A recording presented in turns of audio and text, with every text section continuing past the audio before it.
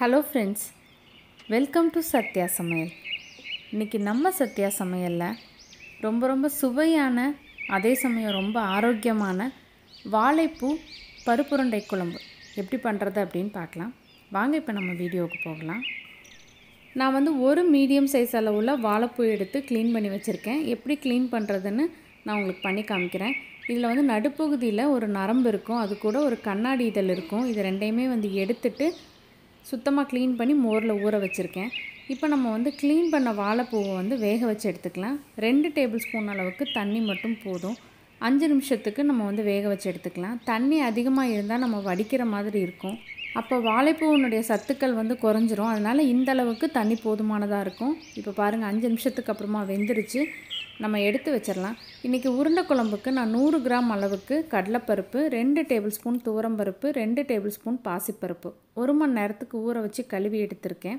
இப்போ அரைக்கிறக்கு அரை ஸ்பூன் சீரகம் அரை ஸ்பூன் சோம்பு காரத்தேவைக்கு தகுந்த அளவுக்கு பச்சை மிளகாய் ஆறு ஏழு பல் போல் பூண்டு. சின்னதாக இருக்கிறனால நான் இவ்வளோ எடுத்திருக்கேன். பெருசாக இருந்தால் மூணு பல் எடுத்துக்கோங்க. கொர கொரப்பாக அரைச்சிட்டு நம்ம வந்து ஊற வச்சு நல்லா வடித்து வச்சுருக்க பருப்பு எல்லாமே வந்து சேர்த்து கொர கொரப்பாக அரைச்சிக்கலாம். பருப்பு வந்து முழுசாக தெரியக்கூடாது. ஆனால் அதே சமயம் கொர கொரப்பாக அரைச்சி எடுத்துக்கலாம். இப்போ பருப்பு எல்லாமே வந்து அரைச்சதுக்கப்புறமா நம்ம வேக வச்சு வச்சுருக்க வாழைப்பூவையும் ஒரு சுற்றி சுற்றி அரைச்சி எடுத்துக்கலாம். இப்போ பாருங்கள் எல்லாமே வந்து அரைச்சி எடுத்தாச்சு.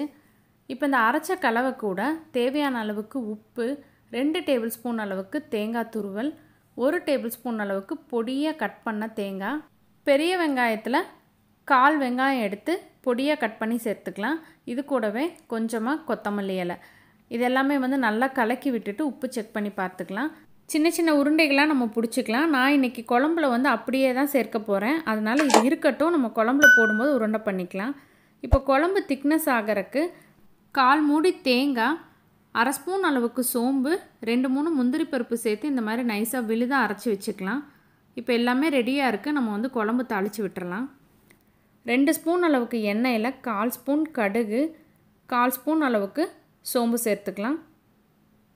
நல்லா பொரிஞ்சதுக்கப்புறமா கொஞ்சமாக கருவேப்பிலை நல்லா கைப்பிடி அளவுக்கு கட் பண்ண சின்ன வெங்காயம் சேர்த்துக்கலாம். வெங்காயம் வந்து வதங்கினதுக்கு அப்புறமா மசாலா சேர்த்துக்கலாம். கால் ஸ்பூன் அளவுக்கு மஞ்சள் தூள் ஒரு டேபிள் ஸ்பூன் அளவுக்கு தனி மிளகாய்த்தூள் ரெண்டு டேபிள் ஸ்பூன் அளவுக்கு மல்லித்தூள். காரத்தேவைக்கு தகுந்த அளவுக்கு மிளகாத்தூள் மட்டும் வந்து குறைவாகவோ அதிகமாகவோ சேர்த்துக்கலாம். இப்போ இந்த மசாலா பொடி எல்லாமே வந்து ரெண்டு நிமிஷத்துக்கு வதக்கி விட்டுக்கலாம். இதில் வந்து ரெண்டு மீடியம் சைஸ் அளவுள்ள தக்காளி பழம் பொடியாக கட் பண்ணி சேர்த்துருக்கேன். கொஞ்சமாக உப்பு சேர்த்து தக்காளி பழத்தை வந்து நல்லா மசீற வரைக்கும் நம்ம வந்து வதக்கி விட்டுக்கலாம். இந்த குழம்புல புளி குறைவாகவும் தக்காளி அதிகமாகவும் இருந்தால் டேஸ்ட் வந்து ரொம்ப நல்லாயிருக்கும் இந்த அளவுக்கு தக்காளி வதங்கினதுக்கு அப்புறமா நம்ம வந்து நம்ம கரைச்சி வச்சுருக்க புளி குழம்புக்கு தேவையான அளவுக்கு தண்ணி உப்பு எல்லாமே சேர்த்துட்டு இந்த குழம்ப நல்லா கொதிக்க விட்டுக்கலாம். கொதித்ததுக்கப்புறமா நம்ம வந்து உருண்டையை அப்படியே சேர்க்க போகிறோம் உருண்டையை வந்து நம்ம பொரிச்சும் சேர்த்துக்கலாம். அதே மாதிரி இட்லி பானையில் வேக வச்சதுக்கு அப்புறமாவும் சேர்த்துக்கலாம். பொரிச்சிங்க அப்படின்னா பொரிச்சதுமே குழம்புல சேர்த்துருங்க. இப்போ பாருங்கள் நல்லா கொதிக்க ஆரம்பிச்சிருச்சு. நான் வந்து ரெண்டு உருண்டை மட்டும் போடுறேன். உருண்டை வந்து கரையாமல் இருக்கா அப்படின்னு நம்ம பார்த்துக்கலாம். உங்களுக்கு கரையிற மாதிரி இருந்ததுன்னா இந்த மாவு கூட ஒரு ஸ்பூன் அரிசி மாவும் கடலை மாவும் சேர்த்து அதுக்கப்புறமா உருண்டையை வந்து டேரெக்டாக குழம்புல போட்டுக்கலாம். உருண்டைகளை வந்து போட்டதுக்கப்புறமா அதிக ஃப்ளேமில் இருக்கும்போது போட்டுக்கோங்க. உருண்டையை போட்டு முடிச்சதுக்கப்புறம் மிதமான தீயில் வந்து ஏழு நிமிஷத்துக்கு நம்ம வந்து வேக வச்சு எடுத்துக்கலாம். இப்போ பாருங்கள் உருண்டையை வந்து நம்ம டேரெக்டாக போடாமல் இருந்தோம் அப்படின்னா அரைச்ச இந்த கடலைப்பருப்பு விழுதுலேயே ஒரு ஸ்பூன் எடுத்து குழம்புல கலந்துட்டோன்னா குழம்பு கெட்டியாக இருக்கும். நம்ம அப்படியே சேர்த்துருக்கிறதுனால இதுவே வந்து உங்களுக்கு குழம்பு திக்காக தான் இருக்கும்.